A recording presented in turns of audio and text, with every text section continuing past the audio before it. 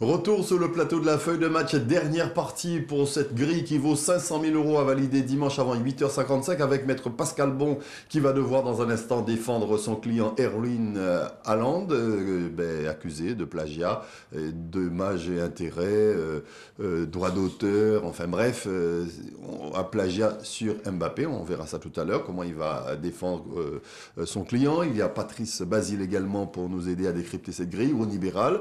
Et euh, nous avons la chance et le plaisir d'avoir avec nous Raphaël Mirval également, donc euh, le meilleur buteur du dernier exercice du championnat euh, de R1 et qui est quand même encore en course pour garder son titre de meilleur buteur et avec euh, déjà une belle expérience derrière lui. C'est donc les quatre derniers matchs qui nous intéressent, Maître Pascal Bon, et vous en parliez tout à l'heure, donc on s'intéresse à la première ligue maintenant. Oui, effectivement, avec le, le Dauphin, enfin le Dauphin présumé pour l'instant, Manchester United face à Burnley, le 16e du- de ce championnat. Euh, il faut toujours s'intéresser à ces présumés petits clubs euh, qui vivotent euh, en bas du classement. Et c'est vrai que malgré les défaites, moi j'aime bien, je prends plaisir à avoir joué, surtout à l'attaquant Vidra et, Wood, hein, qui, qui font le travail devant. Donc c'est toujours la problématique de ces équipes de, de, de, de, de rang inférieur, mais qui ne peut pas compter sur un- une défense ou un milieu qui soit à la hauteur de, de vivoltant attaquant. Donc attention quand même, parce qu'ils savent planter. Ils, toujours. Face à Newcastle ou face à Southampton aussi. Toujours, et toujours, euh, toujours euh, prolifique au niveau, au niveau des buts. Donc attention à, un match sans de, Manchester United parce que Bentley, ça joue quand même au ballon. Ben, Manu euh, a retrouvé une certaine, je dirais, santé. Parce que euh, après un début de saison très difficile, euh, pour l'instant ils enchaînent les bons résultats. Ils ont retrouvé un équilibre, ils ont retrouvé un jeu, ils ont retrouvé euh, Pogba aussi qui commence à, à re- retrouver une bonne forme. Donc il n'y a aucune raison que, pour moi hein, que Manu chute contre son adversaire, Burnley, parce que Burnley, honnêtement, 16e de ce championnat, c'est une équipe qui vraiment, moi je peux considérer comme une équipe faible dans ce championnat. Donc il n'y a aucune raison qu'ils viennent bousculer Manchester United, qui est quand même en ce moment en train de retrouver un, beau football.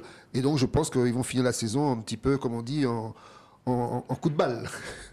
Ouais, Manchester United qui aura en plus dans les jambes ce match contre Grenade en, Ligue Europa. Donc, euh, bon, euh, les, Mancuniens qui, à mon avis, vont faire le job comme au match aller. Ils avaient battu Burnley donc, euh, lors du match aller. Il reste des, joueurs de Burnley qui, eux, restent sur deux défaites consécutives en championnat.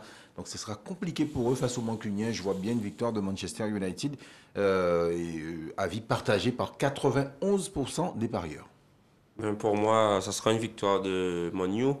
Ils ont trouvé une stabilité même dans le jeu, une efficacité devant les buts et un grand Pogba et un grand Edinson Cavani. Pour moi, ça sera une victoire. Maître, vous nous avez parlé du dauphin présumé, mais moi je vous invite à la rencontre du troisième type. Entre Leicester et, et Bah oui, Southampton. Leicester est troisième. Ben, c'est vrai, euh, gentiment, hein, sans faire de bruit, ils sont là. Bon, c'est vrai qu'ils ont, ils viennent de comme deux, matchs nuls ou une, défaite ou deux défaites. C'est vrai qu'ils patinent hein, parce qu'ils avaient pas mal d'avance sur le quatrième. Et c'est vrai que ça fait deux ou trois matchs qui, qui, coincent. Euh, ils sortent d'une défaite. En face, il y a une, équipe qui est joueuse, hein, euh, Southampton, qui, qui est aussi euh, une équipe qui est 14e, mais qui a fait des matchs assez intéressants. Donc, je mets quand même une, une bille sur Leicester, mais attention à Southampton. Oui, je rejoins un peu mon, collègue parce que sur le papier, c'est un match qui paraît euh, intéressant, qui soit équilibré. Alors, Southampton a été la surprise de début de saison, il faut, bien le dire. Ils ont commencé très bien. Et puis après, ça a été un peu le trou d'air, euh, la chute. Donc euh, aujourd'hui, ils sont plutôt dans le, dans le négatif, dans le trou, comme on dit, un peu comme nos équipes de bas de tableau au championnat, de France. Alors que ben, Leicester, c'est vrai qu'ils ont une équipe quand même capable d'aller faire beaucoup mieux que ce qu'il faut actuellement. Et je pense qu'ils vont se reprendre sur ce match-là. Chez eux en plus, bon ben, je vois les Leicester largement devant. Alors, il faut savoir, messieurs, que ce match euh, n'est pas un match de championnat, mais c'est bien un match de FA Cup. C'est Ah la oui, demi-finale de la Coupe. Cup, de la Cup donc en, en- en anglaise. Euh, Leicester qui doit, à mon avis, retrouver les joies de la victoire, ça c'est important. Euh, la rencontre va se disputer à Wembley. Les deux équipes se sont déjà rencontrées 57 fois depuis euh, 1966. Le bilan, c'est 20 victoires partout et, donc, et 17 matchs nuls. Euh, Leicester qui a perdu ses deux derniers matchs de championnat. Southampton a remporté ses deux derniers matchs de championnat. Donc euh, voilà, j'ai quand même envie de donner un, avantage dans ce match de coupe à Leicester. Euh, bon, en me disant que au- avant, avant les, prolongations, Leicester aura fait la différence donc face à cette équipe de Southampton. Donc pour moi, victoire de Leicester. Ben, je vais partager ce que mes collègues vont dit. Pour moi, ça sera une victoire de Leicester. Ils sortent quand même de deux défaites. Et c'est le moment de relever la tête pour finir, euh, même en championnat, convenablement. À précision, euh, évidemment, c'est un résultat qui doit être euh, pris en compte au terme des 90 minutes. Donc on voit, euh, à quasiment à l'unanimité, une victoire de Leicester sur Southampton. On va quitter la Ligue Première Ligue pour la Ligue A. La, oui, c'est ça? La non, Ligue la. Ligue A, pas la Ligue A, mais la Ligue A, avec le Betis de Séville qui accueille Valence. Oui, un beau sixième du championnat espagnol face à Valence, euh, 13e du championnat. On connaît euh, Maxi Gomez, on connaît notre, euh, allez, notre français Mangala, je crois, qui joue derrière, et aussi Vas, aussi un attaquant. Donc c'est vrai qu'on a, on a pour cette fin de championnat un Valence qui reprend des couleurs. euh, qui des fois bon, perd un peu les pédales, ils ont quelques cartons rouges, quelques mauvais gestes euh, qui font qu'ils finissent pas les matchs euh, dans de bonnes conditions, euh, alors que finalement, comme le dernier match face à la Real Sociedad, ils ont quand même tenu à dragée haute en faisant le match nul de partout. Euh, pour autant, euh, voilà, on a une équipe, on a, notre, euh, notre joueur fétiche du Betis qui doivent confirmer leur sixième place, alors quand même une victoire du Betis Séville. Oui, je rejoins Pascal Bon parce que pour deux raisons. D'abord parce que le Betis Séville, c'est quand même eux qui viennent de faire chuter l'Atlético de Madrid la, la- fois dernière, qui est quand même en train de, disputer la tête du championnat de Liga. Betis Séville, effectivement, avec Canales et Fekir, qui, qui ont vraiment des arguments euh, et qui sont une équipe solide aujourd'hui, on peut le dire comme ça. En face, Valence. Alors, effectivement, vous avez cité, euh, mon cher Pascal, euh, Maxi Gomez, mais Maxi Gomez ne joue pas ce match-là. Il est expulsé. Voilà, ça, l'excuse. Donc, euh, c'est quand même un sacré désavantage pour, pour Valence. Donc, moi, je dirais, après ce que nous a montré Betis Séville contre l'Atlético de Madrid la semaine dernière, je mettrai sans aucun problème Betis Séville comme vainqueur de ce match. Alors, alors, en Espagne, on a sauté la 31e et la 32e journée. On va directement à la 33e. Et c'est un match de la 33e journée donc de Liga. Le Betis Séville euh, qui, euh, bah, qui va jouer forcément les trois points. Mais attention quand même à Valence qui a été battu, euh, qui, avait, été battu à l'aller. Valence qui mène largement au bilan des confrontations entre les deux équipes. 49 victoires de Valence, 20 matchs nuls et 26 victoires du Betis. Un Betis qui rêve encore de euh, Ligue des Champions, donc qui va essayer de ne pas perdre de points. Je les vois, je les crois capables de ne pas perdre de, points à domicile. Donc une victoire de Valence ou encore une victoire du Betis ou encore un match nul euh, face à cette équipe de, de Valence. Ben, je vais, pour moi, selon moi, ça sera un match nul. Je pense que ça sera un match très compliqué. Et voilà. Un match nul pour euh, cette rencontre entre le Betis de Séville, euh, qui a donc le pied gauche magique. Euh, Fekir. Qui ah oui, de Fekir. Mais bon, on verra bien. Ceci étant, on va terminer cette grille, on vous l'a dit, qui vaut euh, 500 000 euros par le derby de Madrid. Enfin, l'un des derbys. Rétafé contre le Real de Madrid, euh, c'est aussi le, le- le type même de match piège. Pourquoi? Parce que j'ai un peu regardé le profil du Rétafé. C'est vrai que ça ne prend pas beaucoup, mais c'est coriace. C'est coriace. Euh, vous faites souvent match nul, il y a au moins 4 ou 5 euh, matchs nuls dans les confrontations. Vous gagnez 1-0, mais vous n'avez pas planté 3, 2 ou 3 buts au Rétafé. Donc si d'aventure euh, les joueurs font bloc comme ils savent le faire, sans prendre de carton rouge au milieu de terrain et derrière, euh, le Real va pouvoir tirer 20-30 fois. Ils peuvent arracher un match nul à, à domicile. Donc le, le rang entre le 15e et le second qui court pour, la gagne, puisqu'ils sont, ils sont titillés à un point l'Atlético Madrid, l'autre club de Madrid, il faudrait que Real doit tout faire pour gagner ce match. Mais attention, je dis, il y a quand même un côté euh, coffre-fort chez Retafe. On ne vient pas hein, s'amuser et, et planter, et planter euh, les 3-4 buts euh, à Retafe à domicile. Alors, moi, j'avoue que depuis euh, quelques, quelques semaines, il y a deux équipes qui ont impressionné, c'est PSG bien sûr, mais Real Madrid. Parce que Real Madrid, j'ai vu leur match, le Classico contre Barça, j'ai dit, ouais, franchement, c'est du, du lourd. J'ai vu leur, leur qualification également euh, hier, euh, avant-hier, con- contre le- le- Liverpool. Aujourd'hui, c'est vrai que Real Madrid est une équipe qui est extrêmement solide, donc je ne vois pas qu'est-ce que Getafe va pouvoir faire contre cette équipe qui, avec un Zidane qui a maintenant retrouvé euh, toute, tout son, pouvoir de, de- je sais pas, de magicien, euh, et une- un Benzema, comme on l'a dit, qui survole les débats, euh, qui aura envie de s'amuser encore un petit peu plus. Donc moi, pour moi, ce, match-là, évidemment, euh, c'est pour moi, c'est Real Madrid sans aucun problème. Alors 36, euh, 36 points en, donc, de différence au classement entre les deux équipes, mais seulement 13 petits kilomètres entre les deux villes, donc Getafe qui est au sud de Madrid à 13 kilomètres. Alors match euh, encore une fois de la 33e journée de, de, Liga, match compliqué quand même pour les Madrilènes euh, qui auront un match de Ligue des Champions dans les jambes. Bon, on sait, ce que, on sait euh, tout ce que ça, ça implique comme débauche d'énergie. Maintenant, bon, on sait aussi que ce sera compliqué pour Getafe qui de toute son histoire n'a battu le Real de Madrid qu'à cinq petites reprises. La dernière fois, c'était le 26 août 2012. Le Real qui surfe sur une vague de 14 matchs sans défaite. Tenez-vous bien, et surtout 13 victoires, donc 13 victoires euh, pour le Real euh, face à, cette équipe de Retafe, donc série en cours bien évidemment. Et dans le sprint final, je vois mal le Real perdre des points, donc pour moi, victoire de la Casablanca sans aucune difficulté.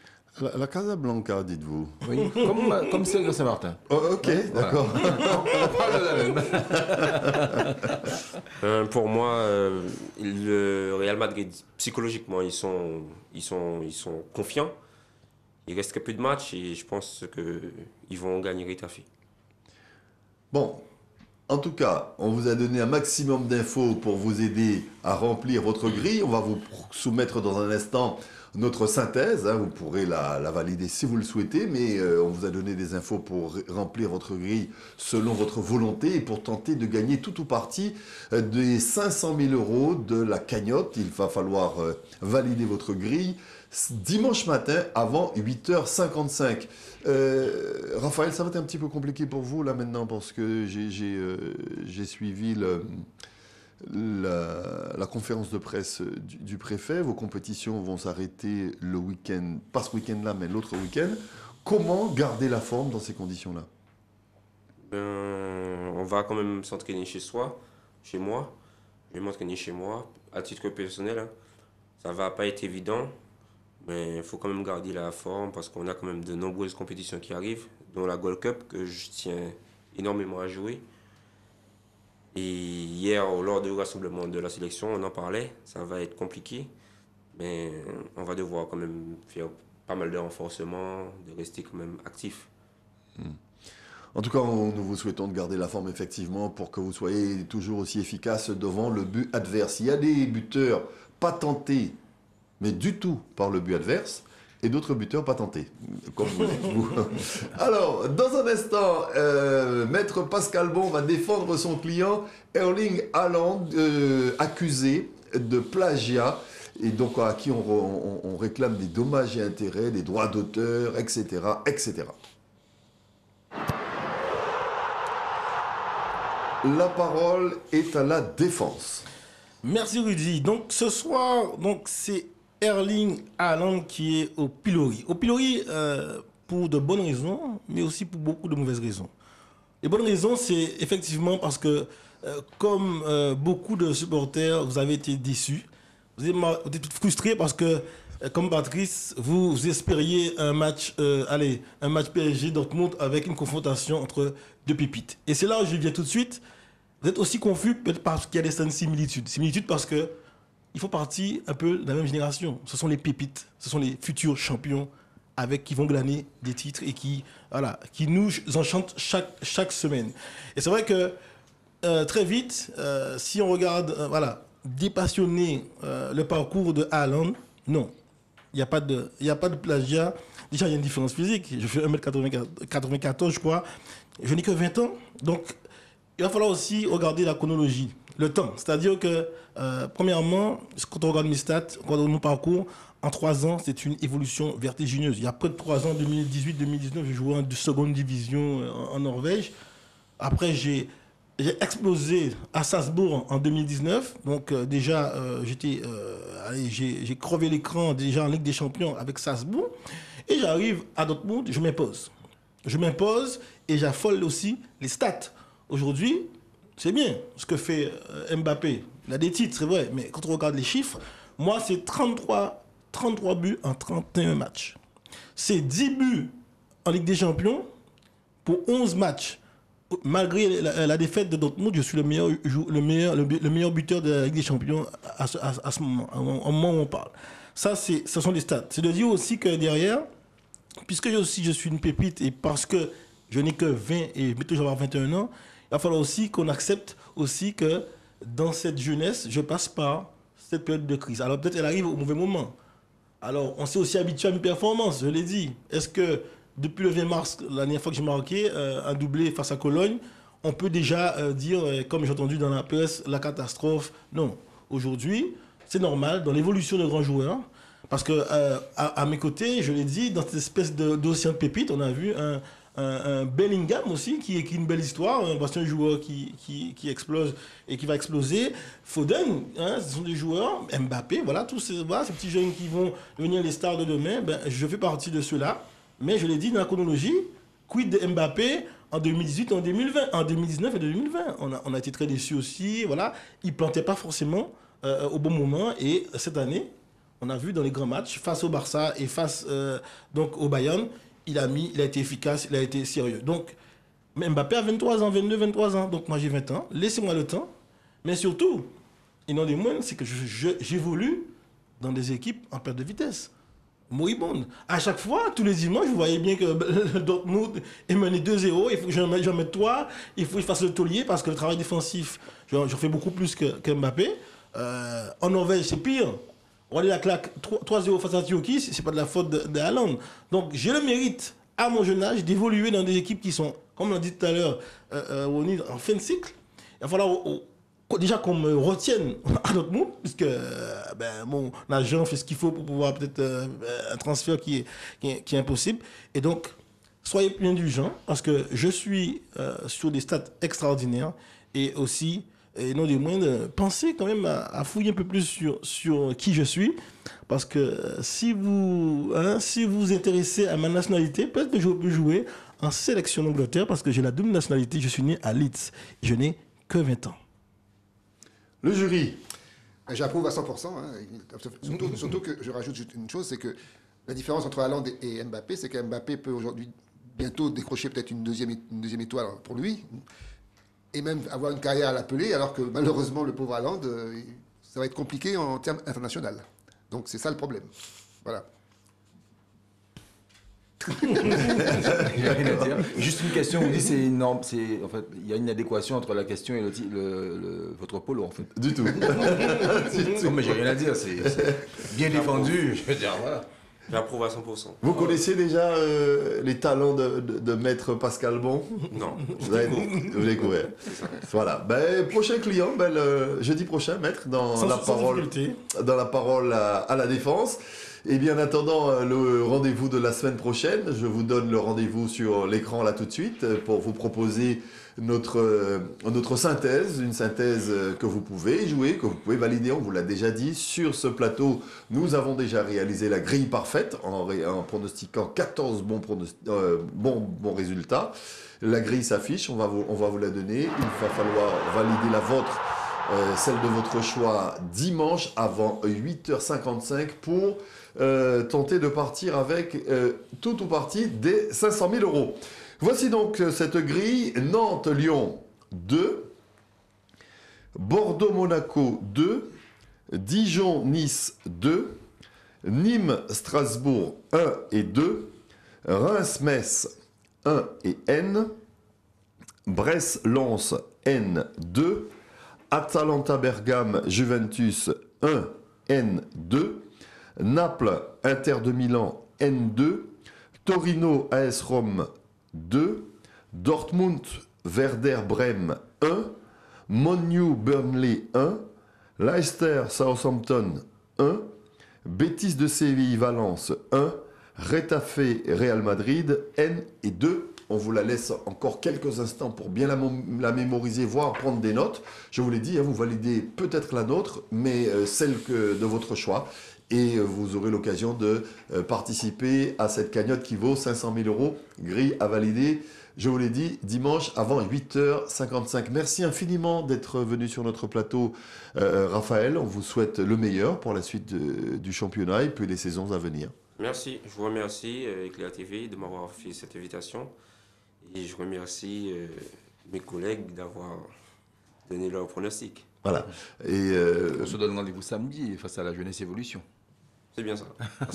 Malheureusement, ce sera à huis clos. On ne pourra pas, euh, on ne pourra pas vous soutenir euh, comme par le passé. euh, mais bon, Vous allez écouter la radio. oui, on va écouter la radio. RCI en l'occurrence. hein. Bah, allez, allez jusqu'au bout. allez jusqu'au bout.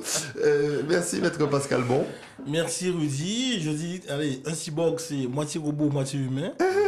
Et revient. des fois, il, a- il, est- il peut avoir une passe difficile. Et vous revenez à votre, vous revenez à votre client, là, si j'ai bien compris. merci également à vous, euh, Patrice. Merci Rudy et vive le PSG parce que franchement c'était c'était su- super. Quand ça joue Faut collectif. pas dire que vous ayez le triomphe modeste. Non mais euh, un club français qui euh, Oui. arrive à battre euh, Barcelone Je partage. et Bayern, c'est pas Je- tous les jours. je partage, je partage Qatar, votre. Qatar, non? Je, je partage votre joie. Je partage votre joie. Merci également à vous, Ronnie. On se retrouve jeudi prochain. Voilà. Et merci tout particulièrement à vous, à mes téléspectateurs et bien évidemment à notre équipe technique. On salue tout particulièrement nos téléspectateurs de la Martinique, mais également de la Guyane. Et nous vous donnons rendez-vous la semaine prochaine. Très belle fin de soirée sur notre antenne.